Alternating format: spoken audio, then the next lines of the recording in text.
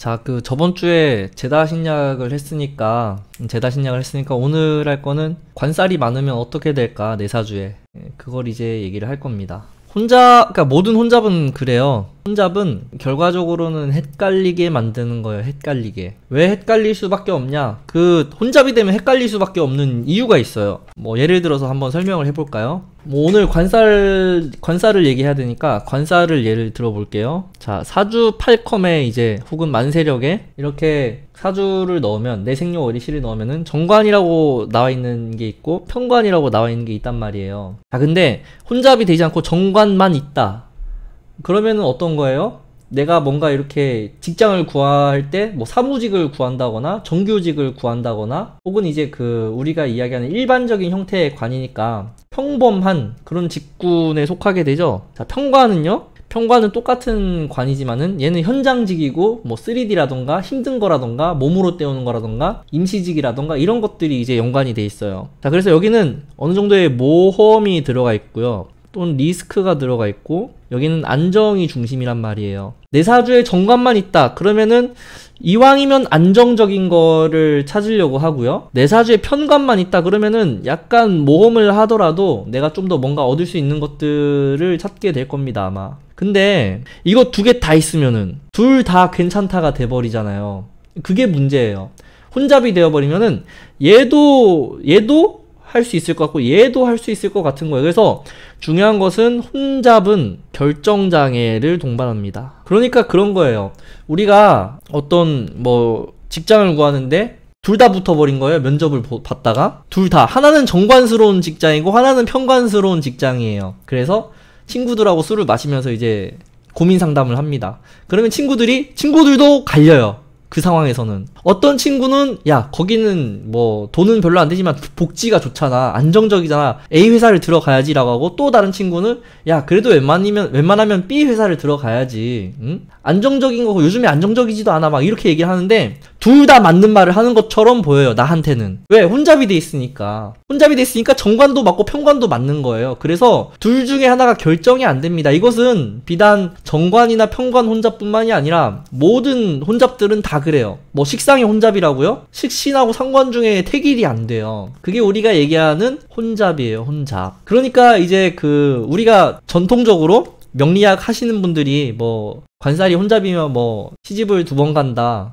뭐 이렇게 얘기를 하죠. 왜 그러겠어요? 남자가 내 사주에 정관밖에 없으면은 내가 보는 사람도 그 남편을 고를 때도 정관스러운 남자만 고를 텐데 혼잡이게 되면은 정관인 남자도 괜찮아 보이고 평관인 남자도 괜찮아 보이는 거 둘 다 괜찮은 거예요 누구로 결정할 거예요 이거는 그게 우리가 얘기하는 혼잡이에요 그래서 뭐 이렇게 얘기를 한 거죠 정관이랑 한번 결혼했다가 이혼하고 그러니까 정관이랑 결혼하면은 항상 편관이 들어와요. 기회비용. 내가 하지 못했던 편관이 아른아른 거리죠. 그래서 이혼하고 또 편관한테 간다 이거예요. 근데 또 편관한테 가게 되면은 정관이 눈에 또 들어와요.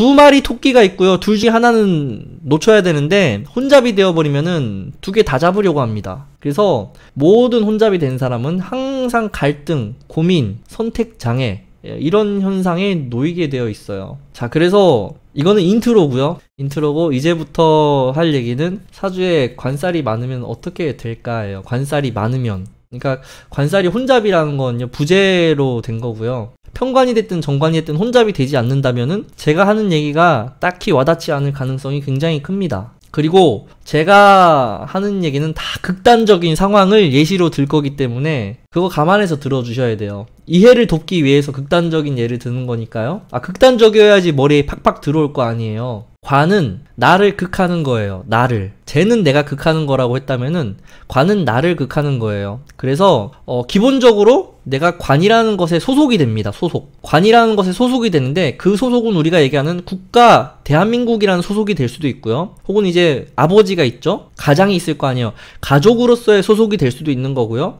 나의 출신 학교, 예를 들어서 저는 뭐 수원에 있는 유신고등학교를 나왔는데 거기가 이제 나의 관이 될 수도 있, 있죠. 그래서 관이라고 하는 것은 나의 소속을 얘기하는 거예요. 소속. 어딘가에 내가 속하고 있는 거. 그리고 소속이 된 만큼 그 소속한 곳에 룰을 따라야 되는 그런 현실을 얘기합니다. 그게 관이에요. 근데 관이 사주에 많다. 이건 무슨 말이겠어요? 내가 소속되어야 할 곳이 많은 거예요. 자, 나는 크게 보면은 국가 대한민국에 소속돼 있고 작게 보면은 가족에 소속이 돼 있고 거기에서 또 사회적으로 나가면 회사에 소속이 돼 있고요. 또 뭐예요? 연애를 하게 되면 남자친구 또는 여자친구한테 소속이 돼 있는 거예요. 내가 소속이 될 곳이 많은 거예요. 갈 때마다 그 룰을 따라야 되는 겁니다. 그러면은 관, 사주에 관살이 많을수록 뭐가 없어져요? 식상이 줄어들죠. 식상이 줄어드니까 내가 그 룰에 대항할 수 있는, 룰에 반박할 수 있는, 룰을 따르지 않을 권한이 없어지는 것처럼 되죠. 식상이 약해지니까. 쟤도 약해지죠. 제가 약해지면은 굳이 그 관을 내가 따라야 되나라는 어, 의구심이 들어요. 그럼 사주에 관이 없는 사람은 어디에도 소속감을 느끼지 못하고 어느 룰에도 따르지 않을 권한이 있는 것처럼 그렇게 행동을 합니다. 그래서 눈치를 보지 않아요. 내가 왜 굳이 따라야 돼? 라고 합니다. 무관이면 무단횡단 하기 쉬워요. 그래서. 근데 관의 압박이 강하면 강할수록 눈치를 볼 수밖에 없어요. 자, 그래서 그런 것들을 이제 보면은, 아, 관살이 많은 사람은 어떤 형태의 삶을 살아가는지 빤히 보이죠? 따라야 될 곳이 너무 많은 거예요. 그리고 가장 큰 것은 신약해집니다. 관이 많으면 많을수록 주변에 휘둘리게 되어 있어요. 재나 관은 사주를 신약하게 만들고요. 신약하게 되면은 내가 주도를 하는 게 아니라 보통 내 주변에서 나를 주도하는 것처럼 되어 있습니다. 자, 그러면은 관살이 혼잡인데 관이 많으면 어떻게 되겠어요? 남자가 많은, 주변에 남자가 많은 거예요. 음, 그냥 극단적으로 얘기하면은. 근데 그 남자들 중에서 선택할 수 있는 능력이 굉장히 떨어진다는 소리예요. 휘둘린다는 소리예요. 휘둘린다. 이렇게 보시면 됩니다. 그러면 이제 이 관살이 많은 거를 오행별로 대입을 해보자고요. 오행별로 대입을 하면은 조금 그 관의 형태가 달라진다는 걸 이제 오늘 얘기를 하는 거고요. 목일간부터 한번 시작을 해보죠. 목일간. 목일간은 목은 일단 아이 같다고 했잖아요. 목은 아이 같다. 처음 나온 거다. 이제 막 시작하는 거다. 이렇게 얘기를 했는데 목의 마음은 그런 겁니다. 화를 향해 있으니까 기본적으로 자유롭고 싶은 거예요. 기본적으로 통제보다는 내가 어떤 것에 호기심을 가지고 그 호기심이 있는 곳으로 향해서 가는 거 그게 이제 목의 마음이에요. 그래서 아이들이 목과 같은데 금이 많다는 그 상황에서 금이 관살로 작용을 하고 거기에서 이제 금이 많다는 것은 목이 이렇게 뭔가 하려고 할 때 금으로 규제하는 거예요. 아이 사주가 목일간인데 금이 많다는 것은 부모가 이 아이의 행동을 제약하는 거랑 똑같아요. 근데 중요한 것은 목이 금에 대항할 힘이 없잖아요. 그래서 목일관들의 관살이 많으면 제일 먼저 이제 봐야 될 것이 뭐냐면 어린 시절의 트라우마 같은 것을 살펴봐야 돼요. 트라우마를 겪기 쉽다. 상처를 입고요. 상처를 잘 입고요. 상처를 한번 입으면은 그게 각인돼요. 각인이 돼서 트라우마가 되고 그게 이제 오래 갑니다. 새겨진다는 소리예요. 상처가 뚜렷하게. 어, 이 사람은 뭐 간목이든 을목이든 목일간인데 금이 강하다 상당히. 그러면 이제 어, 이 사람이 성장 과정에서 어떤 트라우마적인 일을 겪지 않았나? 이런 것들을 관찰하셔야 돼요. 다른 사람들은 그냥 어렸을 때 뭐 상처를 받더라도 나중에 잊어버릴 수 있는데 목일간의 관살이 강한 사람들은 그런 게 잊혀지지가 않아요. 아 나무에 뭔가 이렇게 새기면은 새겨지잖아요. 새긴 그게 없어지지 않잖아요.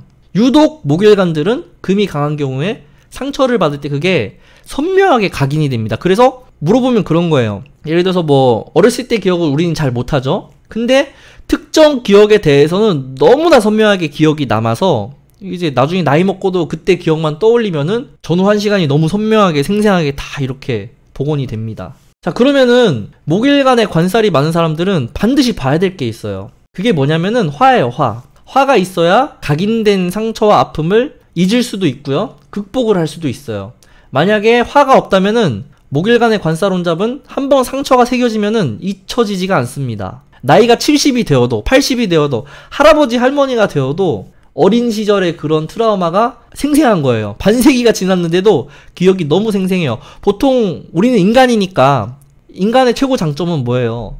컴퓨터하고는 달라서 망각이 가능하잖아요. 망각. 기억이 흐려지고 뭐 희미해지고 잘 안, 기억이 잘 안 나고 그러니까 살아갈 수 있는 건데 목일간에 금이 많은 사람은 그렇지 않습니다. 그래서 화가 있어야 돼요. 약하게라도. 약하게라도 화가 있어야 그 목이 성장하면서 그 새겨진 것을 좀 희미하게 지울 수 있어요. 근데 화도 없어. 사주에 막 갑자일주 또는 을해일주 거기에 관살이 많아. 그러면은 그냥 그 상처를 품고 늙어가는 건데 그런 거예요 결국에는. 화가 없다는 것은 목이 화가 없다는 것은 성장한 적이 없는 거랑 똑같은 거거든요. 겉으로는 늙어가고 피부에 주름도 생기고 그러는데 속으로는 완전 애기거든요. 어린아이예요 어린아이. 그래서 목일간의 관사론자은 그런 상처들을 가지고 가는 사람이다 이렇게 보시면 될 것 같습니다. 그래도 관이 많으니까 내가 그 관에 맞춰서 행동은 해야 될 거 아니에요. 사실은 그런 겁니다. 내 나이가 예를 들어서 40이라고 치면은 관이 요구하는 건 그래 그런 거예요. 너는 40인 나이가 40이니까 나이가 40인 것처럼 행동해야 돼라는 암묵적인 사회적인 룰이 있잖아요. 우리는 철 들어야 돼라고 하는 나이에 맞는 행동을 해야 돼라고 하는 거기에 맞춰서 사는 사람들이에요. 그냥 목일간에 관이 많은 사람들은. 근데 속으로는 한없이 어려요. 그냥 정신 연령은 거의 뭐 10대랑 똑같을 거예요, 아마. 그래서 이거는 뭐 다른 사람들도 마찬가지겠지만 특히나 목일간들이 더 심합니다. 제일 중요한 게 화이고요. 거기에 만약에 토까지 있어 버려가지고 재생 관살로 되어 있다. 음, 이러면은 이제 지나치게 현실적인 사람이 되어버립니다. 지나치게. 이상과 꿈이 없어진 사람이랑 똑같아요. 현실에 목매어서 살아가는 사람이 돼버려요. 그게 왜 그러냐면은 결국에는 그 관살이라는 내가 따라야 될 룰이 많은 거잖아요. 관살이 혼잡이라는 것은 여기에도 맞춰야 되고 저기에도 맞춰야 되고 나는 맞출 것밖에 없는데 맞춰 살아가야 되는 것밖에 없는데 거기에 쟤까지 봤으니까 다 맞춰가면서 살아가요. 그렇게. 그래서 진짜 내 인생은 없고요. 그냥 세상에 맞춰 살아가기 급급한 현실주의자가 돼버립니다. 목에 관살이 많은 사람은요, 트라우마를 가지고 있다. 어떤 수많은 기억들 중에서 굉장히 각인된 기억을 가지고 살아가게 되고요. 잘 지워지지가 않는다. 이렇게 보시면 됩니다. 화일간의 관살이 혼잡이 되어 있다. 화일간의 관살은 수잖아요, 수. 수니까 사주의 수가 굉장히 많은 거예요. 화일간의 수가 많게 되면은 이거는 그냥 그렇게 보시면 돼요. 빛과 어둠의 관계로 통변을 하시는 게 가장 빠르고 간단합니다. 나 빼고는 다 어두워요. 나 빼고는. 나 빼고는 다 어두운 거예요. 나만 밝고 나만 따뜻하고 나만 비치고 주변은 다 어두운 거예요. 그럼 이제 화일간에 관살이 많은 사람들은 어떤 상황들을 겪겠어요? 내가 비치니까 내가 그들한테 위안이 되고 위로가 되는 상황들밖에 벌어지지 않는 거예요. 그래서 화일간에 관살이 많은 사람들 특징이 뭐냐면은 주변에 항상 이렇게 힘들다고 하시는 분들이 계세요. 나한테 위로를 받으러 많이 와요. 주변에 힘들다고 하는 사람들이 많다 이거예요. 그게 이제 화해간의 수가 많은 사람이거든요. 나도 힘들어 죽겠는데 그들한테 내가 위로를 줘야 돼요. 내가 그들을 위안을 해줘야 돼. 왜? 나는 비치고 니네는 다 어두우니까. 이 사람들은 나밖에 안 보는 거예요. 화일간의 수가 많은 사람들은 거의 필연적으로 그런 뭐 심리 상담이라던가 심리학이라던가 주변 사람들이 이렇게 위로를 해준다던가 종교라던가 이런 약간 우리가 얘기하는 정신적인 직업군에 해당하는 경우가 많습니다. 그래서 화일간들은 심리학 같은 거 하면 좋고요. 아, 당연히 명리학 같은 것도 잘 맞아요. 이런 사람의 마음을 좀 이렇게 위안을 해줄 수 있는 어떤 일을 하더라도 그런 형 그런 형태의 코드가 다 연결이 돼요. 교육적인, 상담적인 이런 것들. 그래서 주변에 그런 사람들이 많습니다. 또 그들을 밝게 해줘야 되는 역할도 있고요. 마치 그 주변 사람들을 내가 이렇게 뭔가 길을 밝혀주고 인도해주고 희망을 주고 위안을 해줄 수 있는 형태의 어, 그런 직업군엔 다잘 맞습니다. 주변 사람들은 다 수이고 나는 화이니까요. 이 사람들은 나 말고는 어디에서 위안을 얻을 데가 없는 거랑 똑같아요. 그리고 특히나 이제 나만 비치고 상대가 어둠이라는 건 그런 거예요. 상대방, 그러니까 어둡다라는 거는 나를 드러내지 않는 거랑 똑같습니다. 나를 잘 드러내지 않아요. 드러내지 않고 어 그러다 보니까 내 속이 얼마나 문드러져 있는지 잘 파악도 못해요. 근데 화일관들은 특히 수가 있는 화일관들은 상대방의 속마음을 끄집어내주는 데는 아주 귀재라고 보시면 돼요. 그래서 여러분들 주변에 화일관인데 수가 많다. 그 사람 앞에만 가면 나도 모르게 속 얘기 다 할걸요? 하지 말아야 되는 얘기까지 다 꺼낼걸요, 아마? 나도 모르게 그 사람한테는 그게 돼요. 그러면서 힐링도 됩니다. 그래서 주변에 만약에 그런 사람들이 있으면요. 여러분들 속 얘기를 터놓으세요. 그 자체로 이미 힐링이 돼요. 근데 당사자는 만약에 내가 화일간이라면은 나도 힘들어요, 사실은. 예, 나도 힘듭니다. 그 주변의 수의 압박이 얼마나 나를 힘들게 하겠어요. 그러니까 그런 거죠. 나도 힘든데 나보다 더 힘들다고 하는 사람들을 위로해줘야 되는 그런 숙명적인 그런 걸 타고납니다. 근데 중요한 건 나도 힘들다는 거예요, 나도. 고통스럽죠, 당연히. 관살이 강한 사람은요, 다 힘들어요. 일간에 상관없이 그냥 내 사주에 관살이 많다? 힘든 거예요. 그 자체로 힘들어요, 이미. 주변에 내가 자꾸 맞춰야 되잖아요. 그들한테. 근데 오행 때문에 그 좀 달라지는 현상들, 관의 힘듦이 어떤 형태로 다가오는지를 얘기하는 겁니다. 나보다 덜 힘든 것 같은데 얘가? 근데 내가 위로해줘야 된다니까요? 그러면은 화일관들이 힘든 건 누가 위로해줄 거예요? 이거는 조금 고민해볼 문제인 것 같아요. 나도 힘들어 죽겠는데.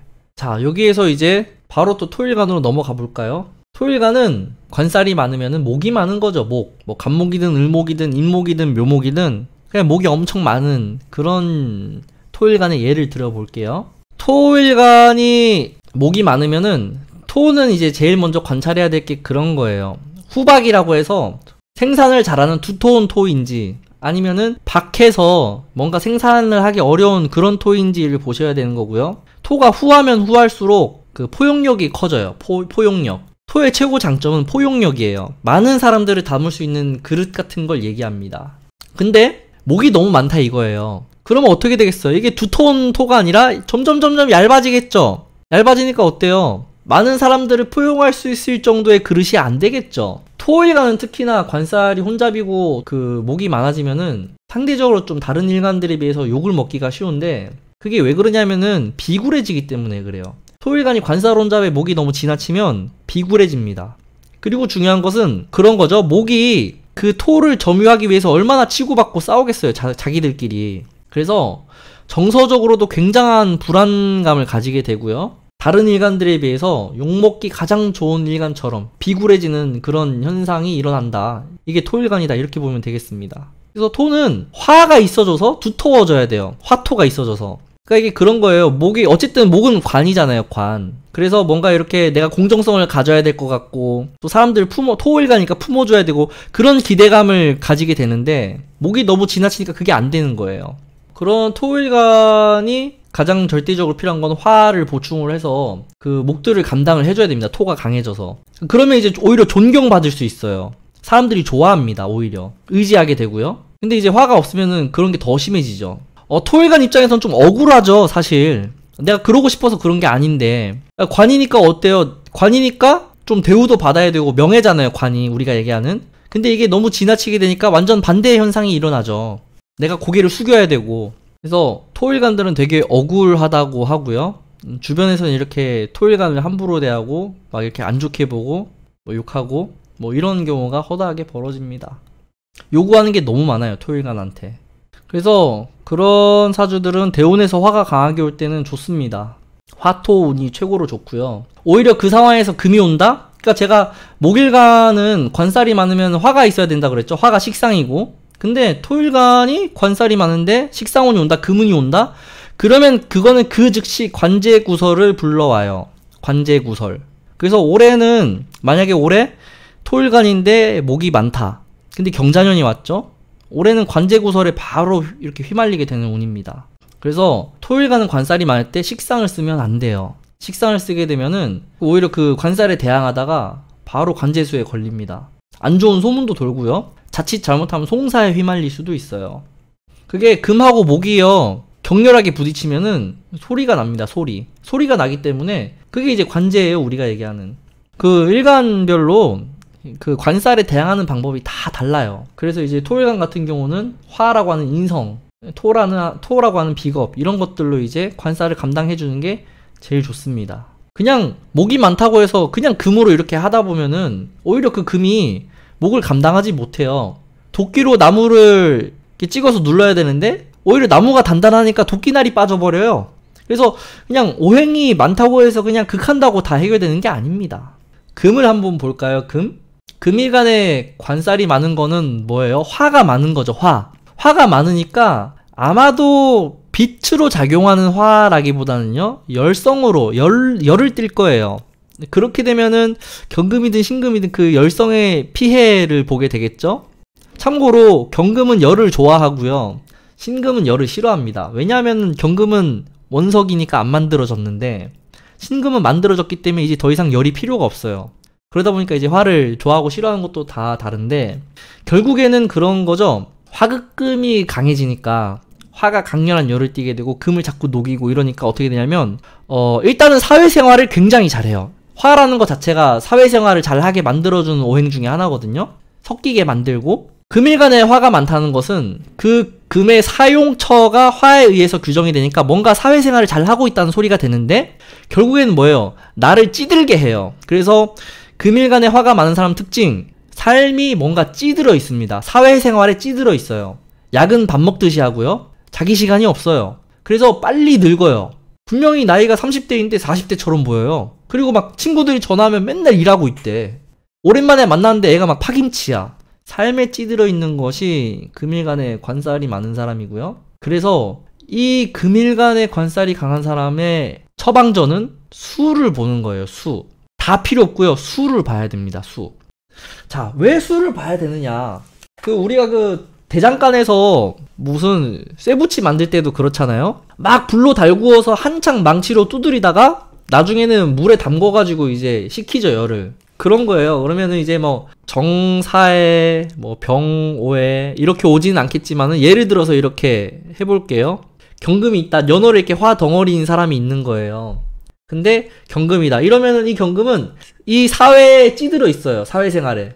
얘가 이미 A라는 완성품이 됐는데 여기에서 또 화가 작용을 하니까 자꾸 막 여기 그러니까 지계 이동도 빈번하게 이루어질 이루어질 수 있어요. 이러면은 이 사람은 분명히 사무직으로 들어갔는데 현장도 가야 되고 갑자기 파견도 나가야 되고 해외도 왔다 갔다 해야 되고 이미 만들었는데 계속 다시 만들고 다시 만들고 하는 거예요. 용도가 자꾸 바뀔 수 있다는 겁니다. 관살이 혼잡된 거니까.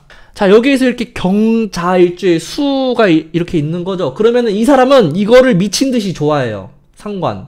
이게 배우자잖아요. 배우자 궁이니까. 그래서 이런 사람은 자기 아내를 엄청나게 사랑한다. 라고 할 수 있어요.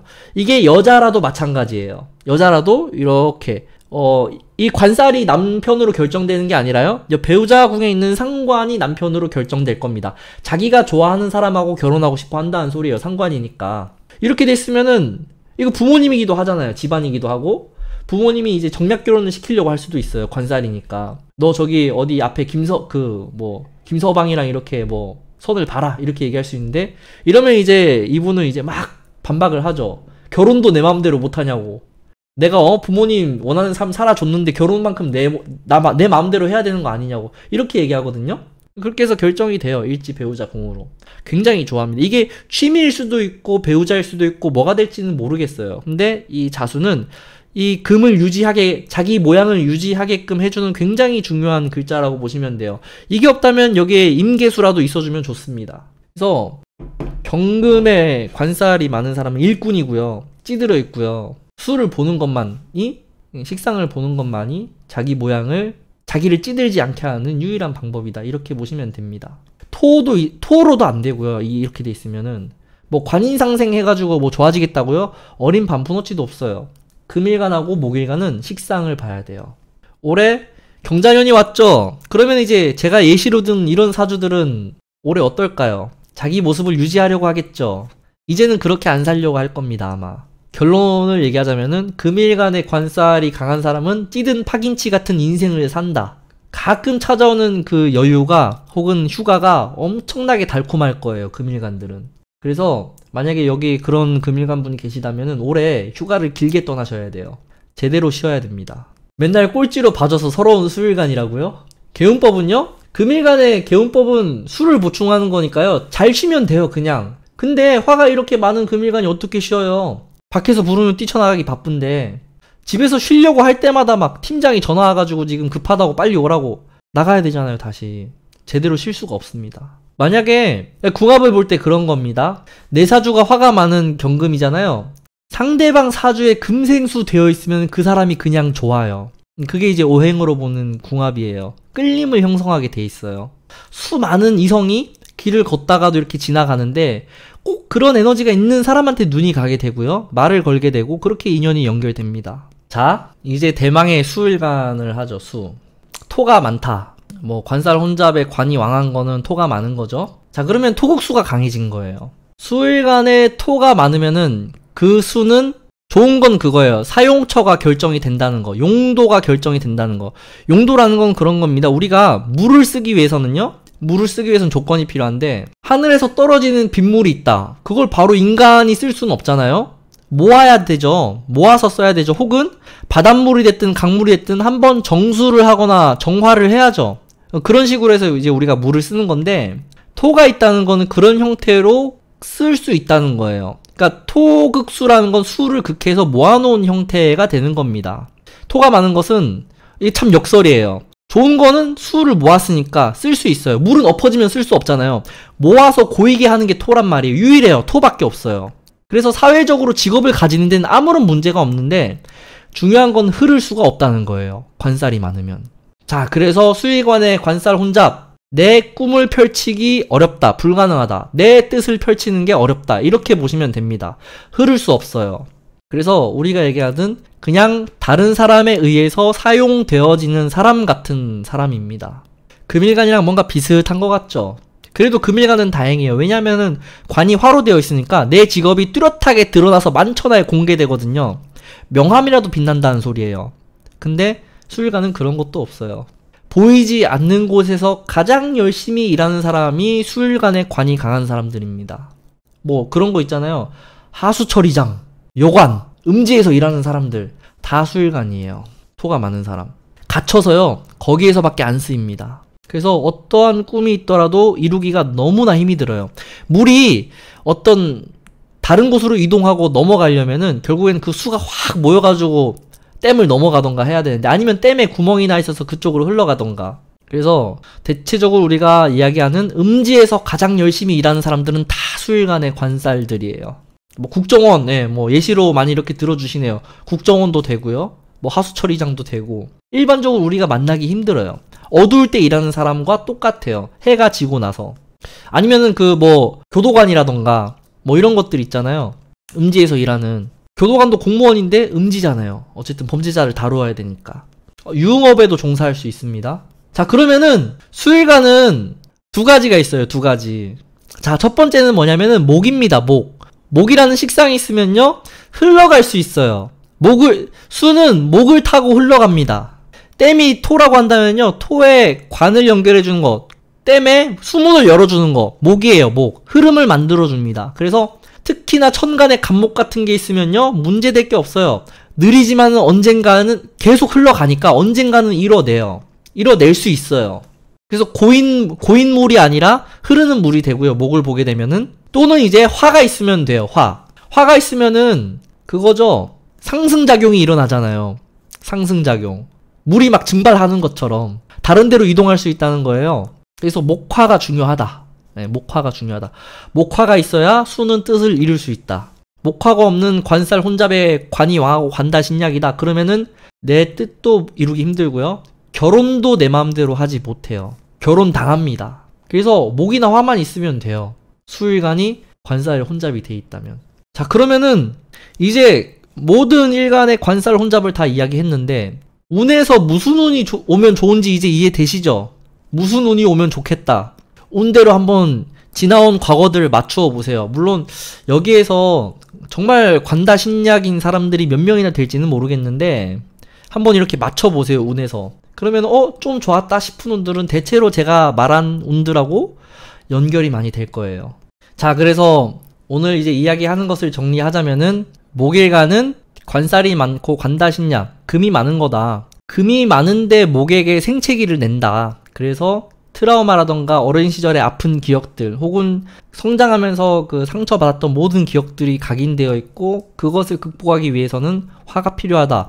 화가 없으면 극복이 어렵고 나이를 먹어도 계속 그 기억이 생생하게 난다. 이거를 이제 염두하시고요. 화일관 같은 경우는 내가 비치고 주변은 어두우니 또 그게 관살로 작용하죠. 수가. 위로해주면 돼요, 주변 사람들. 내가 빛이니까. 그 사람들은 어두우니까 앞이 안 보이고요. 나는 그 사람들한테 앞을 제시할 수 있는 거예요. 그래서 상담이라던가 정신 쪽, 정신적인 뭐 심리라던가 이런 쪽으로 공부해서 그런 일을 하면은 가장 잘 어울리고요. 중요한 거는 나도 힘들어 죽겠는데 나보다 더 힘들다고 징징대는 사람들이 주변에 많다는 거예요. 그 사람들 다독여 주셔야 됩니다. 토일가는 자, 편집을 하다 보니까 토를 너무 비굴하다고만 안 좋게 얘기한 것 같아서 토의 심정을 대변하고자 새로운 단어가 떠올라서 편집 중간에 이렇게 찍게 됐어요. 결국에 그거예요. 토가 약하다는 것은 다른 사람들을 품지 못한다는 거고 목이 강하다는 것은 품어달라고 징징대는 거예요. 목들이 사람들이 내 편 들어달라고 토는요 항상 중간에 껴요 샌드위치처럼 그래서 A와 B가 나를 두고 싸웁니다.